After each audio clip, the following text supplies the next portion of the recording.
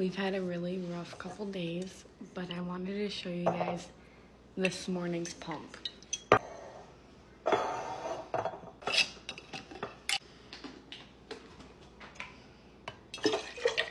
This is all from this morning. I'm finally done. We slept way in, so I really needed to pump.